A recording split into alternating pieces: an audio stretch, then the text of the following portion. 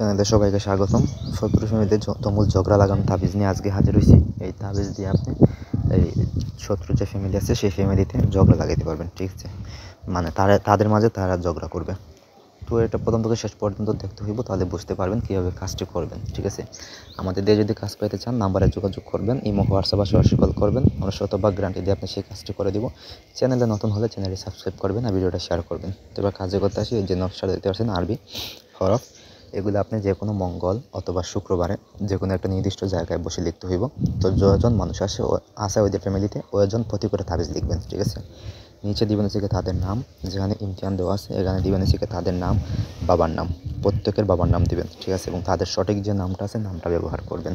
এটা করবেন হচ্ছে যে কোনো মঙ্গল অথবা শুক্রবারে, যে কোনো একটা নির্দিষ্ট স্থানে বসে হয় আপনার ঘরে যদি আসন থাকে, আসনে বসে না হয় আপনি নদীর দ্বারে বা গুরস্থানের দ্বারে বা কুলা মাঠ ময়দানে, এরকম জায়গা দেখে আপনি বসবেন বসে আপনি লিখবেন, ঠিক আছে?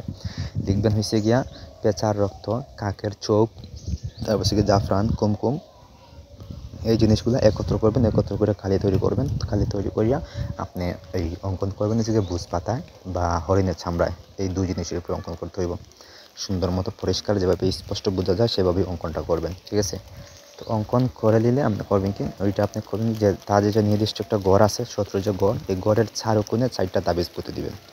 সাইডটা কোণে সাইডটা তাবিজ পুঁতে দিবেন এবং এগুলো হচ্ছে কি আলাদাভাবে তৈরি করবেন, ঠিক আছে? এই সাইডটা তাবিজ। এই সাইডটা তাবিজে থাকবে এই ঘরের, এই যে শত্রু যে ঘর, ঘরের প্রত্যেক মানুষের নাম থাকবে একত্রে, ঠিক আছে?